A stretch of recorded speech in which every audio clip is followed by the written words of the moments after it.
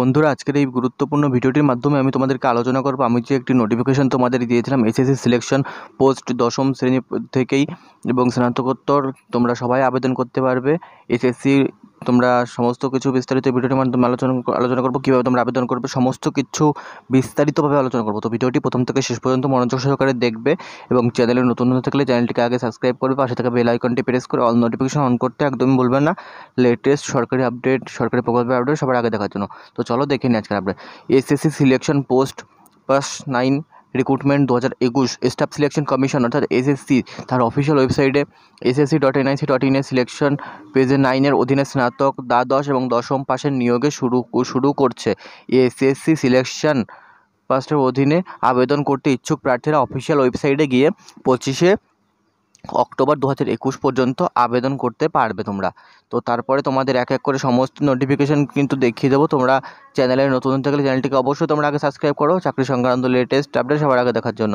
পঁচিশে অক্টোবর তোমাদের শেষ তারিখে স্টাফ সিলেকশন কমিশনের নিয়োগের বিজ্ঞপ্তির দশম শ্রেণি পাস করে থাকলে তোমরা আবেদন করতে পারবে এবং আরও রয়েছে তোমরা গ্রাজুয়েশন পাস করেও তোমরাও কিন্তু আবেদন করতে পারবে। তো SSC selection staff selection commission তার অফিসিয়াল ওয়েবসাইটে SSC dot NIC dot in selection পেজে নাইনের অধীনে স্নাতক, দ্বাদশ এবং দশম শ্রেণি পাশে নিয়োগের বিজ্ঞপ্তি নিয়োগ কিন্তু শুরু শুরু করছে। এসএসসি সিলেকশন এর অধীনে আবেদন করতে ইচ্ছুক প্রার্থীরা অফিসিয়াল ওয়েবসাইটকে পঁচিশে অক্টোবর দু একুশ পর্যন্ত আবেদন করতে পারবেন। যেসব প্রার্থীরা এক, একাধিক পদের জন্য আবেদন করতে ইচ্ছুক তাদের প্রতিটি বিভাগের পদের জন্য আলাদাভাবে আবেদন করতে হবে। MTS driver driver sign scientific assistant হিসাবরক্ষক হেড ক্লার্ক সংরক্ষণ সহকারী টেকনিক্যাল মোট তিন হাজার দুশো একষট্টিটি শূন্যপদে নিয়োগের নিয়োগ করা হবে। প্রার্থীরা আঠেরোই অক্টোবর পর্যন্ত অনলাইনে নির্ধারিত আবেদনের ফিস জমা করতে পারবেন। চালানে চালানের মাধ্যমে ফিস জমা দেওয়ার শেষ তারিখ নভেম্বর পয়লা নভেম্বর অর্থাৎ একই নভেম্বর দু হাজার একুশ নিয়োগের জন্য প্রার্থীদের দু হাজার বাইশ সাল অনুযায়ী ফেব্রুয়ারি ফেব্রুয়ারিতে একটি অনলাইনে পরীক্ষার জন্য আমন্ত্রণ করা হবে। তো স্নাতকোত্তর পরীক্ষার দশম শ্রেণি পাশ করে থাকলে আবেদন করার সুযোগ তোমরা পেয়ে যাবে।